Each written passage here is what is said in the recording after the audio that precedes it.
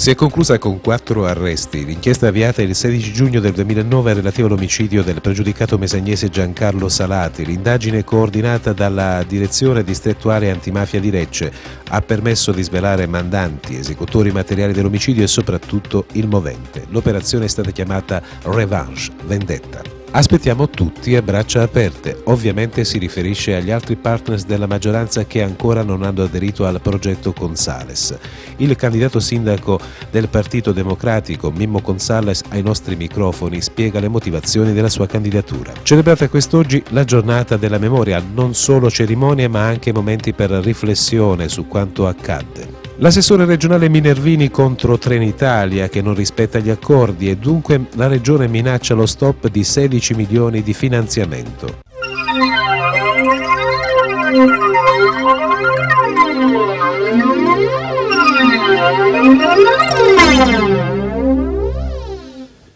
Ben ritrovati a tutti gentili telespettatori, benvenuti a questo appuntamento con l'informazione di TRCB. La cronaca si impone con eh, l'importante operazione di polizia compiuta all'alba di questa mattina coordinata dalla direzione distrettuale antimafia di Lecce. Hanno operato principalmente la squadra mobile di Brindisi che ha collaborato comunque con il commissariato di pubblica sicurezza di Mesagne.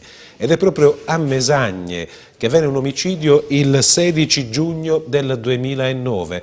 A distanza di tempo gli inquirenti hanno fatto luce sui mandanti, gli esecutori materiali e anche il movente di quel delitto, il tutto grazie anche alle dichiarazioni fornite agli inquirenti stessi da un collaboratore di giustizia. La motivazione, il movente, la vendetta, per questo è stata denominata l'operazione odierna, operazione vendetta, o meglio revanche. Vediamo.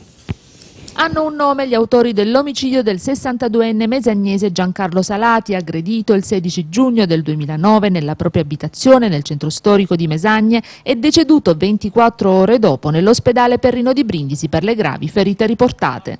Gli agenti della squadra mobile di Brindisi e del commissariato di Mesagne hanno arrestato all'alba di oggi i mesagnesi Vito Stano, Cosimo Giovanni Guarini e Francesco Gravina, detto Gabibbo. Massimo Pasimeni, conosciuto come Piccolo Dente, è stato invece raggiunto in carcere dall'ordinanza di custodia cautelare. Sarebbe stato proprio quest'ultimo il mandante dell'efferato omicidio a rivelarlo, il collaboratore di giustizia Ercole Penna, sarebbero state le sue dichiarazioni a far chiudere dunque il cerchio attorno alla morte di Salati colpito dai tre malviventi quel pomeriggio d'estate da almeno 16 colpi di bastone di ferro. Revenge, questo è il nome dell'operazione che grazie alla collaborazione tra la Procura della Repubblica di Brindisi e quella distrettuale antimafia di Lecce ha inferto un duro colpo alla Sacra Corona Unita. Il pentito Penna avrebbe raccontato agli inquirenti di vecchi rancori tra Pasimeni e la vittima. Salati avrebbe avuto in passato infatti una relazione con la moglie di Piccolo Dente, avrebbe avuto anche il ruolo di protettore quando la donna si prostituiva. Secondo le indagini l'omicidio sarebbe stato commesso anche per agevolare l'attività della frangia mesagnese, poiché avrebbe acquisito con la morte di Salati prestigio, essendo la vittima considerata responsabile di intrattenere relazioni con minorenni.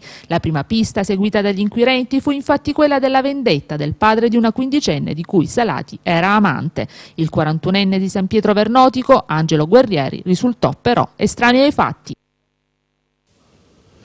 Come avete visto in conferenza stampa, questa mattina c'erano tutti, il, il, procuratore capo della direzione distrettuale antimafia di Lecce, Cataldo Motta, il procuratore capo della Procura della Repubblica di Brindisi, Marco Di Napoli, il questore terribile, il capo della mobile Barnaba, eh, il commissario di Mesagne, c'erano davvero tutti, ascoltiamo la soddisfazione nelle loro parole per l'esito di questa operazione. Omicidio maturato in un contesto di agevolazioni mafiose, questo è il commento dei procuratori. Cataldo Motta e Marco Di Napoli presenti alla conferenza stampa che si è svolta oggi in questura Brindisi, come se la criminalità organizzata si sostituisse allo Stato, è stato spiegato dai due procuratori. Sappiamo bene che la finalità ultima delle associazioni mafiose è proprio quella di eh, sostituirsi allo Stato, sostituirsi a pezzi dello Stato, ad apparati dello Stato e per questo ha bisogno anche di una territorialità nell'ambito della, della quale lavorare. E in questo caso c'è proprio una dimostrazione di come per soddisfare eh, la, la, spinta giustizialista della gente comune, dell'opinione pubblica, si sia uccisa una persona, eh, oltre che per motivi concorrenti e coincidenti, eh, si sia uccisa una persona per far piacere, diciamo così, e quindi per conquistare, per far piacere alla gente e conquistare quindi ulteriore consenso ancora una volta, ripeto, abbassando la soglia di legalità. Un'attività che premia il lavoro incessante fatto dalla squadra mobile e dal personale del commissariato di Mesagne, quindi un bel, un bel risultato. Eh, questi criminali sono stati assicurati, eh, spero, definitivamente alla giustizia ed è un altro, l'ennesimo duro colpo che viene dato alla Sacra Corona Unita nel territorio brindisino. È una esecuzione realizzata con modalità particolarmente efferate. Io devo dire che in tanti anni del mio lavoro ne ho viste di tutti i colori, ma un'esecuzione così fatta a colpi di bastone da tre energumeni che hanno fatto irruzione in casa della vittima è la prima volta che mi è capitato di vederlo. Un crimine particolarmente efferato, fra l'altro hanno agito a volto scoperto in pieno giorno in una zona di Mesagne in cui le case si guardano solo una vicino all'altra, quindi è possibile vedere da una casa quello che succede nell'altra casa. Evidentemente se hanno fatto questo erano certi dell'impunità. Ed ora apriamo la pagina politica per le prossime amministrative. A Brindisi continua in questi giorni a tenere, a tenere banco eh, la situazione all'interno anche del centro-sinistra, però eh, se vogliamo anche del centro-destra. In questi giorni abbiamo realizzato anche diversi speciali. Il nostro direttore responsabile, Tonino Saponaro, ha intervistato i protagonisti della kermesse politica di questo periodo. Se seguite la programmazione, la nostra programmazione, avrete modo di verificare come stanno le cose. Intanto oggi nel telegiornale del primo pomeriggio abbiamo ascoltato telefonicamente eh, il collega Mimmo Gonzales, candidato del laboratorio, che eh, ha detto testualmente aspettiamo a braccia aperte i partner del SEL, dell'Italia dei Valori, di Sviluppo e Lavoro, insomma coloro che al momento sembrano rappresentare l'alternativa al laboratorio all'interno del centro-sinistra ma che eh, il PD e l'Udc sperano di avere con loro in questa battaglia amministrativa. Ascoltiamo le parole di Consales. Questo lavoro è iniziato eh, a settembre dello scorso anno e, al tavolo siedono da settembre anche il CEL, l'Italia dei Valori, Sviluppo e Lavoro, la Puglia per Vendola, insomma le forze politiche e i movimenti che in questo momento sono, eh, non fanno ancora parte della nostra coalizione. Il percorso è stato ben definito, anche ben orchestrato nelle sue tematiche, nella impostazione dei lavori, alla fine si è giunti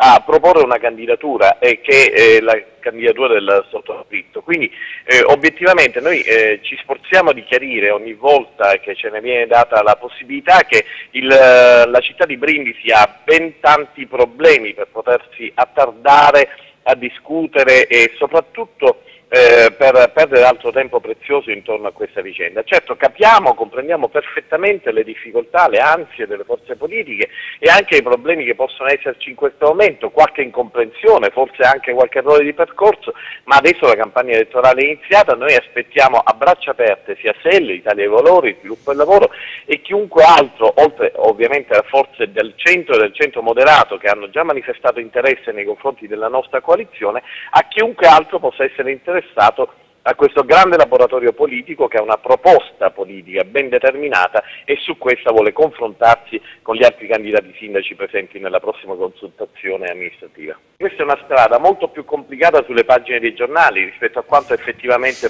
poi eh, risulti nella realtà. C'è un dibattito in piedi, ci sono delle forze politiche eh, che eh, stanno discutendo, stanno effettuando delle scelte importanti anche per il futuro ed è evidente che questo richiede tempi maggiori rispetto a a quello che noi abbiamo fatto eh, fino ad oggi, anche siglando un accordo e soprattutto mettendoci già al lavoro eh, per la elaborazione eh, delle idee, quantomeno delle linee eh, guida del programma. I tempi sono biologicamente differenti tra un soggetto e l'altro, vedremo come andrà a finire, ma ripeto, il dialogo non si è mai interrotto con nessuno.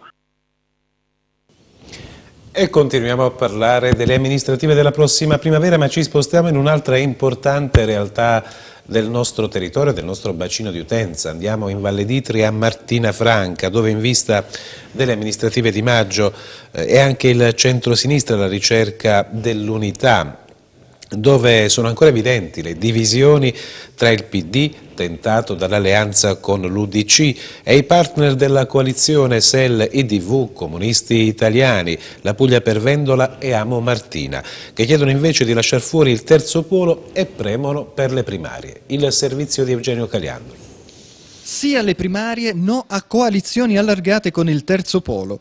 Pasquale La Sorsa, leader di Amo Martina, torna a farsi portavoce del centro-sinistra martinese che da alcuni mesi sta riunendo attorno allo stesso tavolo PD, Italia dei Valori, SEL, La Puglia per Vendola, Comunisti Italiani e la stessa Amo Martina, nel tentativo non facile di trovare la necessaria unità di intenti per giungere alla definizione di un programma comune da presentare all'elettorato martinese alle prossime amministrative di primavera. Le attenzioni dei partner si rivolgono in questi giorni al Partito Democratico, ancora attentato dalla possibile alleanza con l'UDC, rifiutata con forza dagli altri partiti del tavolo del centro-sinistra per la provenienza politica di chi oggi rappresenta l'Unione di Centro a Martina, ma fino al maggio scorso era seduto al tavolo del PDL in Consiglio Comunale. Un'alleanza dunque che per Amo Martina, IDV, SEL e Puglia per Vendola sarebbe innaturale e quindi inopportuna. Ormai con eh, l'ufficializzazione della data delle prossime elezioni amministrative fissate dal Ministero degli Interni per il 6 6 maggio del 2012 direi che il percorso si è notevolmente accelerato, siamo addirittura d'arrivo, probabilmente ci saranno delle primarie che ci auspichiamo vedranno tutto il settore politico che in questi anni ha fatto opposizione alle amministrazioni Conserva e Palazzo unito per fornire alla città un'alternativa possibile e necessaria direi a questo punto perché si mettano da parte in questo momento eh, inutili ragioni di divisione per trovare invece i punti sui quali si concorda e quindi insomma, offrire alla città la svolta che la città merita e che richiede. E tra le priorità della prossima amministrazione che andrà ad insediarsi a Palazzo Ducale ci sarà sicuramente quella della pianificazione urbanistica. Nelle ultime ore il commissario prefettizio Sandro Calvosa ha organizzato un forum informativo sulle opportunità concesse dalla legge regionale 14 del 2009, quella relativa alle misure straordinarie e urgenti a sostegno dell'attività edilizia e per il miglioramento della qualità del patrimonio edilizio residenziale.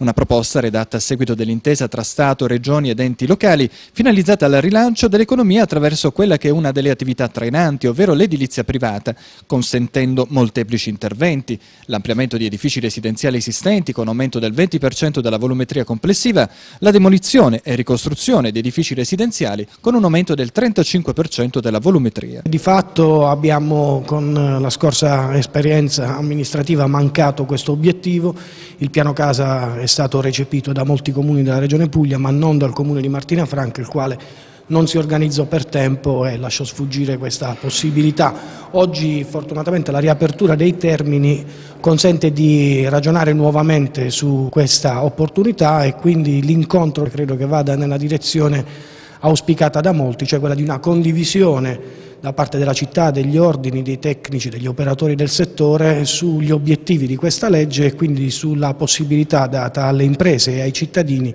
di ampliare entro limiti ragionevoli le proprie abitazioni.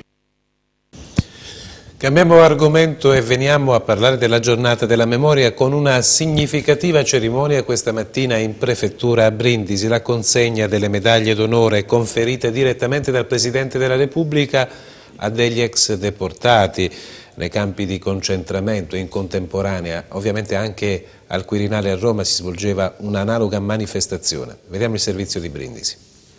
Quattro le medaglie d'onore consegnate in prefettura Brindisi nell'ambito delle celebrazioni della giornata della memoria presenti alla cerimonia anche gli alunni del Ditis Giorgi, del liceo scientifico Fermi e del liceo linguistico Palumbo di Brindisi. L'iniziativa che si è svolta in concomitanza con un'analoga cerimonia presso il Quirinale voleva rappresentare l'occasione per una rinnovata riflessione collettiva condivisa con le nuove generazioni sulle tragedie che si sono consumate nei campi di sterminio nazisti nell'ultimo conflitto mondiale.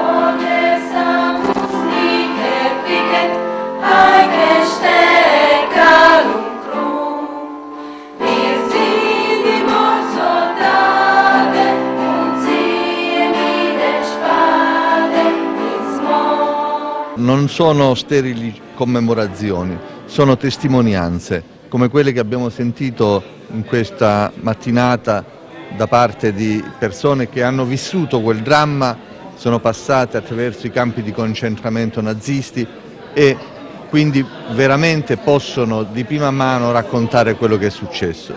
abbiamo avuto il piacere l'occasione di ascoltare eh, brani letti dai giovani studenti dei vari complessi scolastici di Brindisi, abbiamo ascoltato canzoni meravigliose come quella Auschwitz, anch'essa cantata da un giovane della scuola di Brindisi, ma non sono appunto commemorazioni, sono testimonianze, come dicevo prima, perché quello che è avvenuto e che qualcuno ancora si ostina a negare, non so come e in base a che cosa, bene, queste testimonianze ci tengano sempre stretti e riscaldino il cuore perché quegli eventi non si verifichino mai. Un momento dunque di riflessione collettiva, soprattutto con i giovani.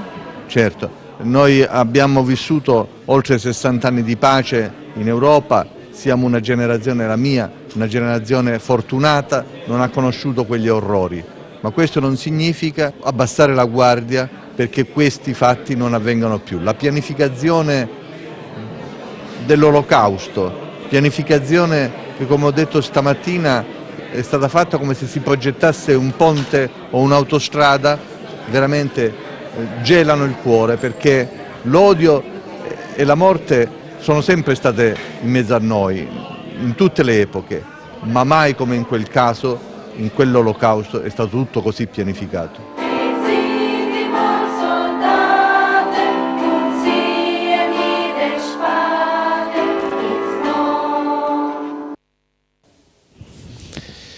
Trenitalia non rispetta gli accordi per la consegna di 14 nuovi treni. La Regione Puglia procederà al definanziamento. L'assessore alle infrastrutture e mobilità Guglielmo Minervini non intende più aspettare. Nel 2006, dice Minervini, abbiamo sottoscritto con Trenitalia un accordo di programma era finalizzato all'acquisto di 14 nuovi treni composti complessivamente da 55 vetture a doppio piano e 14 semipilota da destinare al servizio regionale.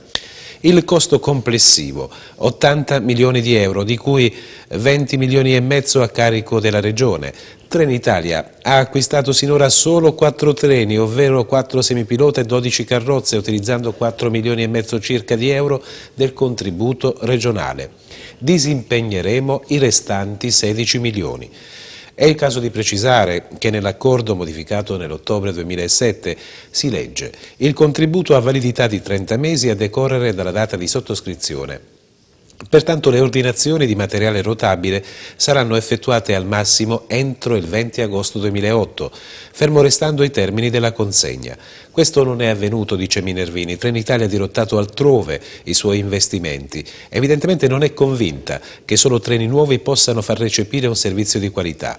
Noi al contrario intendiamo offrire ai pendolari pugliesi migliori servizi e non ci arrendiamo all'idea che il trasporto ferroviario debba essere scadente. È per questa ragione che la Puglia negli ultimi anni è stata la quarta regione in Italia per investimenti sull'ammodernamento della flotta dei treni. Trenitalia dunque non può operare al ribasso, lasciando cadere nell'inerzia l'impegno di concorrere all'acquisizione di nuovi treni. Adesso con i 16 milioni, dice ancora Minervini, provvederemo ad acquistare direttamente i treni e ad immetterli nel nostro servizio di trasporto regionale. Con una delibera siglata proprio oggi dalla Giunta del Comune di Carovigno è stata approvata la convenzione che il 20 gennaio scorso il sindaco Zizza firmò negli uffici regionali per le risorse aggiuntive dei fondi europei che serviranno ai lavori di riqualificazione della Marina di Specchiolla. La somma ammonta a 180.000 euro e sarà utilizzata per completare il sistema di illuminazione della complanare al tratto che interessa la Marina di Specchiolla sino all'area di Lido Sabbiadoro, la sistemazione di tutta l'area verde del lungomare, la sistemazione dei pali Enel e Telecom sul lungomare stesso. Il tutto va ad intersecarsi con i nuovi lavori in fase di gara d'appalto per l'ampliamento della strada di Morgicchio, dove sono previste delle piste ciclabili e dei muretti a secco, per dare una visione di collegamento tra la marina di Specchiolla e la località di Pantanagianni. Il presidente della provincia di Brindisi, Massimo Ferrarese, ha inviato una lettera al presidente della Regione Puglia, all'amministratore unico dell'acquedotto pugliese e al presidente del Lato Puglia per chiedere la convocazione di una riunione urgente finalizzata ad individuare una soluzione tecnica che consenta un'efficace gestione dell'impianto di affinamento delle acque reflue realizzato a Mesagne. L'impianto è stato completato nel 2002 ed ha richiesto l'impiego di circa 14 milioni di euro. Da quel momento non è mai entrato in funzione a causa delle difficoltà riferite alla gestione della struttura.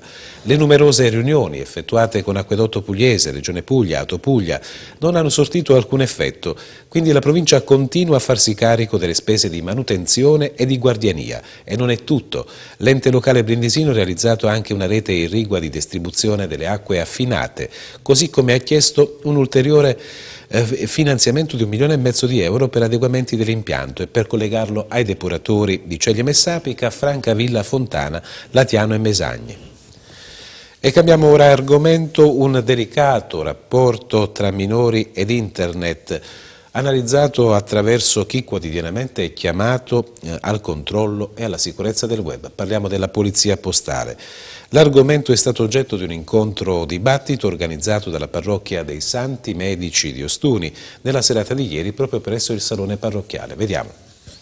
Internet è sicuramente uno degli strumenti democratici più straordinari che abbiamo imparato a conoscere negli ultimi anni, però è anche uno strumento pericoloso. Da che cosa è nata l'esigenza, Don Paolo, di organizzare questo incontro? Immagino anche esperienza di vita vissuta. Internet eh, rimane un mezzo e come tutti i mezzi eh, è l'uso che lo fa positivo e lo fa negativo, no? Mm, e quindi eh, vogliamo proprio richiamare no, l'attenzione dei genitori attraverso l'informazione, informare loro adulti, ma per far sentire soprattutto i figli, minori, no, più sicuri. Eh, oggi si lascia troppo i figli da soli, ecco, dinanzi a internet, eh, io credo molto nei ragazzi, nei bambini, che hanno una grande capacità no, di valutare le cose, però vanno guidati ed è proprio la guida che manca. È la presenza che tante volte sollecita quella che è la direzione che, che va presa. E questo è il pensiero che ci ha portati insomma, a vivere questo, questo, incontro. Che ci sia una continuazione, cercheremo di sollecitare no, quanto più possibile le famiglie perché non vada perso nessuna opportunità. Eh, non è strano che la Chiesa oggi si interessi di Internet. Il Vescovo, il Papa, nell'ultimo messaggio che ha scritto due giorni fa no, per la prossima giornata delle comunicazioni, parla anche di Internet, parla del silenzio, parla della parola. E allora dobbiamo continuare, cioè la poca presenza non deve portarci a scoraggiarci, no? perché il genitore oggi si scoraggia troppo facilmente, i figli non mi ascoltano più, sento sempre dire, e allora più che insistere si lascia perdere e si perde il ruolo educativo. Siamo al servizio di chiusura del giornale, parliamo di un'iniziativa dell'associazione Umbracchie che ieri sera un bracche di Fasano, che ieri sera nel centro studi Valerio Gentile ha tenuto un incontro dibattito dedicato ad una problematica squisitamente fasanese, l'illuminazione e il potenziamento eh, dell'impianto di illuminazione del centro storico di Fasano. Mariangela Boggia ha realizzato il servizio che vi proponiamo da parte mia. Grazie per la cortese attenzione. 14 nuovi lampioni da installare nelle zone non illuminate del centro storico fasanese e la sostituzione di quelli già esistenti per un totale di 41 lampioni da predisporre. È l'analisi effettuata dall'Associazione Umbracchi, presentata ai tecnici comunali e discussa ieri sera nella sede del centro studi Valerio Gentile in largo Chiesa Matrice. Un incontro pubblico all'indomani dell'attivazione di un progetto pilota che la stessa amministrazione ha sostenuto attraverso il finanziamento di lampioni prova, collocati in alcune zone per il miglioramento e potenziamento della pubblica illuminazione del centro antico e per procedere alla scelta in base alle preferenze dei residenti del modello più indicato. Le peculiarità sono state illustrate dal responsabile del settore pubblica illuminazione, il geometra Nicola Mirabile. Abbiamo installato due tipi di lampade diverse una diciamo un po' più tradizionale, di fatto il LED appare tutto e, e quindi dà un effetto moderno.